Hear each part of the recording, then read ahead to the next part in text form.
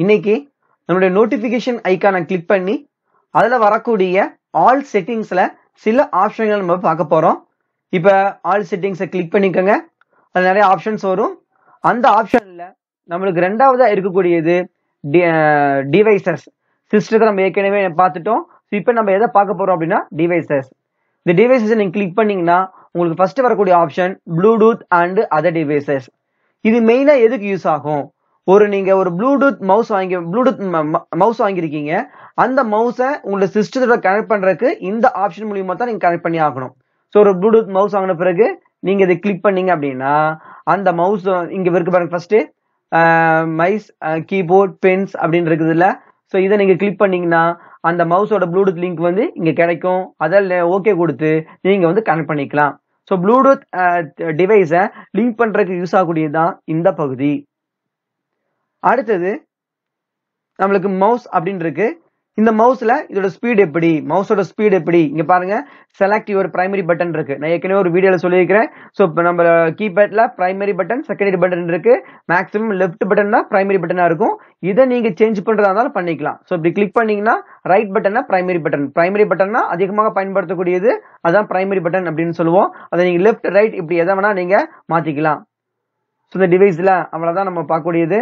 அடுத்தது நம்ம network and internet அப்படிங்கிறத பார்க்க போறோம். ஸோ இது ஸ்டேட்டஸ் அப்படின்னா இப்போ என் டிவைஸ் நெட்டோட கனெக்ட் ஆயிருக்கா இல்லையா அப்படிங்கிற அந்த ஸ்டேட்டஸை இங்கே பார்த்துக்கலாம். ஸோ இப்போ வந்து கனெக்ட் ஆயிருக்கு. You are connected to the internet அப்படின்னு இருக்கு ரெண்டாவது கீழே வைஃபை இருக்கு. நம்ம நோட்டிபிகேஷன் ஐக்கான் மூலியமா போய் வைஃபை கனெக்ட் பண்ணிக்கலாம். இல்லைன்னா இங்க இந்த பகுதியிலையும் வைஃபை கனெக்ட் பண்ணிக்கலாம். இங்க பாருங்க ஷோ அவைலபிள் நெட்ஒர்க் இதை நீங்க கிளிக் பண்ணீங்கன்னா உங்க ஏரியால இப்ப எத்தனை வைஃபை நெட்ஒர்க் கிடைக்குதோ ஸோ எல்லாமே இங்க லிஸ்டட் ஆகி கிடைக்கும். ஸோ அதுக்காக யூஸ் ஆகக்கூடியதான் இது. அதுக்கப்புறம் ஈத்தர்நெட் நம்ம ஏற்கனவே சொல்லிக்கோம் ஸோ நம்மளோட ஈத்தர்நெட் கேபிள் இதுல வந்து ஒரு போர்ட் கொடுத்துருக்காங்க. அந்த ஈத்தர்நெட் போர்ட் வழியா நீங்க வயரை கனெக்ட் பண்ணீங்கன்னா அந்த ஆப்ஷன் இங்க வந்து டிஸ்பிளே ஆகும். அடுத்தது டேலப் கனெக்ஷன் நம்ம ஃபோன் வழியா நெட் கனெக்ஷன் பண்றது.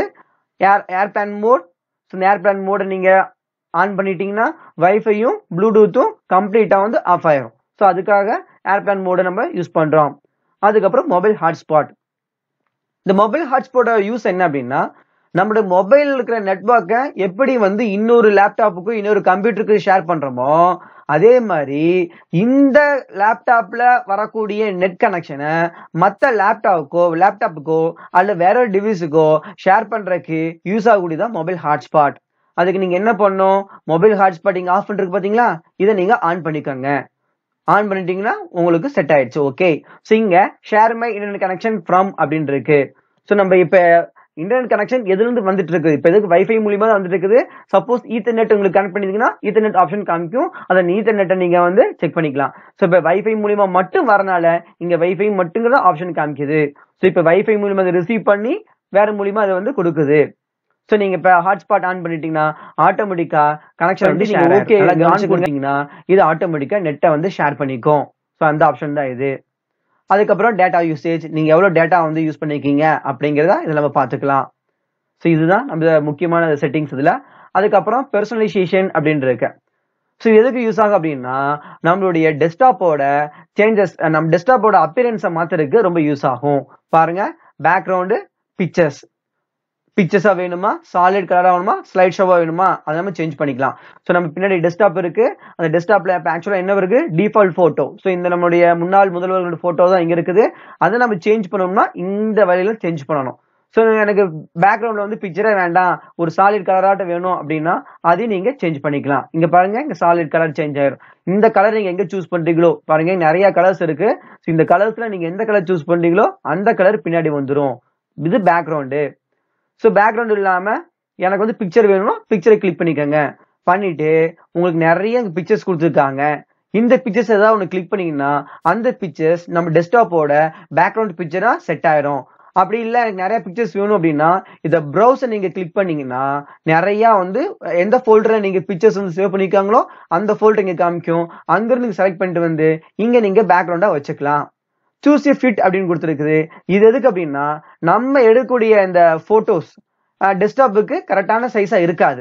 ஸோ அதை நீங்கள் ஃபிட்டு கொடுத்தீங்கன்னா கரெக்டான ஃபிட்ல வந்து அமைஞ்சிக்கும் ஸோ ஃபோட்டோ சிறுசாக இருந்தாலும் பெருசாக இருந்தாலும் டெஸ்க்டாப் அளவுக்கு அந்த ஃபோட்டோ பெருசாக இருந்து ஃபிட் ஆகிக்கும். அதுக்காக பயன்படக்கூடியதுதான். அதுக்கப்புறம் கலர்ஸுங்கிற ஆப்ஷன் இந்த ஆப்ஷன் எதுக்கு யூஸ் ஆகுது? இந்த டைல்ஸ் இருக்கு பாத்தீங்களா இந்த டைல்ஸோட கலர் ஆக்சுவலா இங்க என்ன இருக்குது? ப்ளூ கலர் இருக்கு. இந்த கலரை சேஞ்ச் பண்ணக்கூடியதுதான் இந்த கலர் ஆப்ஷன் எனக்கு இந்த ப்ளூ கலர் வேண்டாம். எனக்கு வந்து வேற கலர் கொடுக்கணும் அப்படின்னா நம்ம வேற கலர் கொடுத்துக்கலாம். இங்க பாருங்க நம்ம கிளிக் பண்ணிட்டேன். ஸோ கிளிக் பண்ண பிறகு ஆட்டோமேட்டிக்கா இங்க கலர் வந்து சேஞ்ச் ஆயிடுச்சு. பாருங்க. இந்த கலர் எல்லாத்தையும் நம்ம டிஃபால்ட் கலரே வந்து கொடுத்துக்கலாம். ஸோ நம்மளுடைய டைல்ஸோட கலர்ஸை சேஞ்ச் பண்ணுறதுக்கு தான் இந்த கலர் ஆப்ஷன் யூஸ் ஆகுது. அதுக்கப்புறம் லாக் ஸ்க்ரீன் நம்ம டிவைஸை லாக் பண்ணக்கூடிய செட்டிங்ஸ் ஸோ எப்படி நம்ம லாக் பண்ணுறது அப்படின்ட்டு ஸோ நம்ம மேக்ஸிமம் இது பண்ண மாட்டோம். இது வந்து கவர்மெண்ட் லேப்டாப்னால அதுக்கப்புறம் தீம்ஸ் நம்ம தீம்ஸ் சேஞ்ச் பண்ணிக்கலாம். ஸோ பாருங்க இத்தனை தீம்ஸ் அவைலபிளா இருக்கு. எப்படி நம்ம போன்ல வந்து தீம் செட் பண்றோமோ அதே மாதிரி இதுலயுமே தீம்ஸ் இருக்கு. ஸோ இதை நீங்க கிளிக் பண்ணா இந்த மாதிரி தீம்ஸ் வந்து அப்ளை ஆயிரும். அதுக்கப்புறம் ஃபாண்ட் உங்களுடைய சிஸ்டத்துல என்னென்ன ஃபாண்ட் அவைலபிளா இருக்கு அதை வந்து நீங்க பாத்துக்கலாம் ஸ்டார்ட் ஸ்டார்ட் பட்டன் உங்களுக்கு எப்படி இருக்கணும்? அதுல என்னென்ன ஆப்ஷன்ஸ் வந்து விசிபிள் ஆகணும்? என்னென்ன விசிபிள் ஆகக்கூடாது? அதுக்கான ஆப்ஷன்ஸ் இங்க. அதுக்கப்புறம் டாஸ்க் பார் ஸோ டாஸ்க் பார் எப்படி இருக்கணும்? இங்க பாருங்க. Taskbar location on screen bottom இருக்கு. ஸோ நீங்க பாட்டம் கொடுத்தீங்கன்னா டாஸ்க் பார் இங்க வரும். சப்போஸ் நீங்க சைட்ல கொடுத்தீங்கன்னா பாருங்க. ரைட் கொடுத்துருக்கேன். இப்ப ரைட்ல போயிடுச்சு பாருங்க டாஸ்க் பார் ஸோ இந்த பக்கம் வச்சுக்கலாம். ஸோ நம்மளுக்கு எந்த மாதிரி ஃபெசிலிட்டிஸ் இருக்கு? ஸோ அப்படி இல்லைன்னா பாட்டத்துல திருப்பி கொண்டு வந்துக்கலாம். ஸோ நீங்க இது எங்க வேணா வச்சுக்கலாம். அதுக்கப்புறம் இங்க வந்து டாஸ்க் பட்டன்ஸ் வந்து சிறுசா இருக்கணுமா? எது ஆட்டோமேட்டிக்கலா ஹைட் பண்ணணுமா? சில இதுல செட்டிங்ஸ் எப்படி இருக்கும்னா நம்ம டாஸ்க் பார்க்க தெரியாது. நீங்க உங்களுடைய இந்த பாயிண்டர் கொண்டு வந்தா மட்டும்தான் அந்த டாஸ்க் பார் தெரியும். அந்த மாதிரி செட்டிங்ஸ்ல நம்ம வந்து சேஞ்ச் பண்ணிக்கலாம். அடுத்து நம்ம பார்க்கக்கூடியது ஆப்ஸ் ஸோ இதில் என்ன பண்ணலாம்னா நம்மளுடைய ஃபோனில் எப்படி ஒரு அப்ளிகேஷன் இன்ஸ்டால் பண்ணுறோமோ அதே மாதிரி இதில் அப்ளிகேஷனை அன்இன்ஸ்டால் பண்ணலாம். ஃபோனில் அன்இன்ஸ்டால் பண்ணுற மாதிரியே இதுலையுமே வந்து அன்இன்ஸ்டால் பண்ணக்கூடிய வசதிகள் இருக்கு. இப்போ உதாரணத்துக்கு ஏதோ ஒரு நம்ம ஒரு சாஃப்ட்வேர்ஸ் எடுத்துக்குவோம். இந்த லிப்ரே ஆஃபீஸ் இருக்கு பார்த்தீங்களா இதை கிளிக் பண்ணீங்கன்னா அன்இன்ஸ்டால் அதாவது சிஸ்டத்துக்குள்ள இன்ஸ்டால் பண்ணக்கூடிய அப்ளிகேஷனை நேரடியாக இங்கிருந்து நீங்க அன்இன்ஸ்டால் பண்ணிக்கலாம். ஸோ அதான் இது. அதுக்கப்புறம் டிஃபால்ட் ஆப்ஸ் நம்ம ஆன்லைன் நம்ம வழியா வீடியோ கால் பேசுறதுக்கு பல ஆப்ஸ் இருக்கும். இதுல உங்களுக்கு பிடிச்ச ஆப்பை நீங்க வந்து செட் பண்ணி வச்சுக்கலாம்.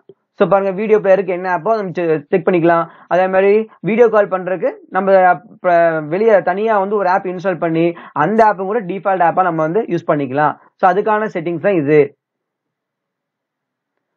அதுக்கப்புறம் டைம் அண்ட் லாங்குவேஜ் உங்களுக்கு தெரியும் ஏற்கனவே. ஸோ நம்மளுடைய பொதுவாக நம்ம டைம் செட் பண்ணக்கூடிய ஆப்ஷன் இது அப்படின்னு சொல்லலாம். அதுக்கப்புறம் ஈஸ் ஆஃப் அக்சஸ் இதுல சில மேக்னிஃபையர் ஹை கான்ட்ராஸ்ட் அதாவது எழுத்துக்களை வந்து பெருசு பண்றது பாருங்க எழுத்துக்களை பெருசு பண்றது பிரைட்னஸ் இன்க்ரீஸ் பண்றது ஸோ எல்லா ஆப்ஷன் இருக்கு. ஸோ இது இந்த அளவுக்கு தெரிஞ்சா போதும். ஓகே இந்த வீடியோ உங்களுக்கு ரொம்ப பிடிச்சிருக்குன்னு நினைக்கிறேன். ஸோ நம்ம இன்னைக்கு இது பார்த்துட்டோம் போதும். ஸோ அடுத்துக்கப்புறம் அடுத்து வரக்கூடிய வீடியோக்குள்ள இன்னும் பல விஷயங்களை தெரிஞ்சுக்கொள்வோம் இந்த வீடியோ பிடிச்சிருந்தா சப்ஸ்கிரைப் பண்ணுங்க ஷேர் பண்ணுங்க. லைக் பண்ணுங்க. தேங்க்யூ